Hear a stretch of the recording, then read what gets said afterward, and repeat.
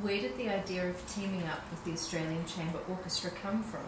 What were the challenges around this? Richard Tognetti, who's the artistic director of the Australian Chamber Orchestra, actually came to me with the idea. Heard that I was a filmmaker that worked a lot in the mountains. I was someone that he should talk to about this idea that he had to explore mountains, you know, in a musical way. They had the Australian Chamber Orchestra had already done a project on surfing, and now they were keen to explore mountains. And you know, they're an amazing orchestra.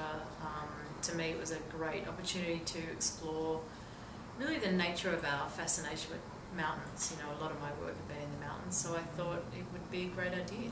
How did your love for mountains start and turn into your documentary filmmaking focus? It was really um, a whole bunch of crazy New Zealanders that introduced me to the mountains. I was working as a camera operator on adventure races, and that led me to working in the New, you know, Southern Alps down here, um, which led me to the Himalayas and, and things kind of went from there. So it really was New Zealanders that introduced me to the mountains, and I fell in love with them. And I, you know, once you fall into a particular kind of filmmaking, you you end up developing skills in those areas and become somewhat of an expert. So just one thing leads to the next. But I have made films not on mountains, and I intend to make more films not on mountains in the future. But the mountains are something that do call me back. And your film Sherpa was a beautiful and heartbreaking film. How did you go about shooting the Sherpas post avalanche? Um, with a great deal of sensitivity is probably the answer to that question. I'd been working in the Himalayas with that same team of Sherpas on and off for over a decade, so I, I had some good connections into the Sherpa community and to one particular village called um, Khumjung. Uh, I had a whole team of Sherpas around me as well. I had a Sherpa translator, I had two Sherpa camera operators who were trained especially to work on our camera team. I had a lot of people that I could check in with to make sure that we were doing the right thing. In that particular community, a lot of the Sherpas knew what we were doing, which was making a film from their point of view of, of an Everest season, and so they were very supportive of what we were doing. You know, they knew that we weren't just blowing in from wherever, that we, we'd spend a lot of time there and were sensitive to what was going on, but it was a very painful time, very emotional, and it needed a lot of care, for sure. And your new film, Mountain, it's beautifully narrated by Willem Dafoe. Yeah. How was he chosen for the role?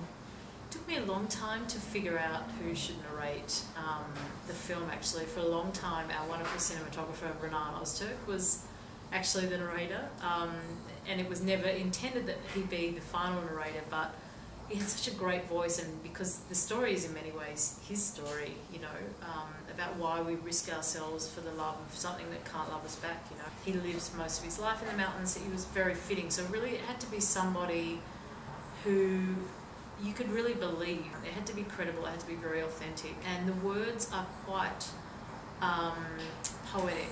And so it had to be the right kind of voice that could ground those words so that they didn't feel too highbrow or pretentious. Or it was actually a friend of mine um, suggested Willem Dafoe, and I've been deliberating for ages about who it should be. And I just immediately thought, wow, he's perfect on so many levels because I think first and foremost, you can kind of imagine him in the outdoors. He has this amazing voice. He's very kind of craggy, beautiful voice, but he's also he has enormous authenticity as an artist, and he it struck me that he was somebody that would get this idea, the idea of this collaboration between an orchestra and a filmmaker.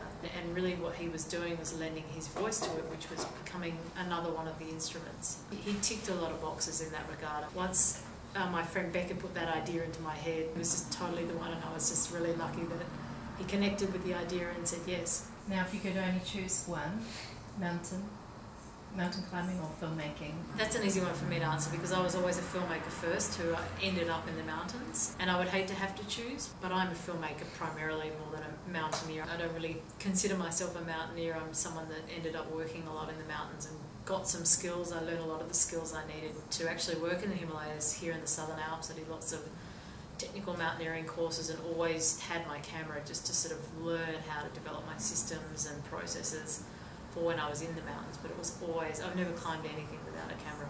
It's always been filmmaking first for me. I'm in Wellington tonight um, at the Embassy Theatre. this fantastic theatre here. I've never been here before. I'm very excited to screen it here. I hear it has a great sound system, which is important for this film because there's an amazing soundtrack. Um, and then we're screening at the Civic um, tomorrow night.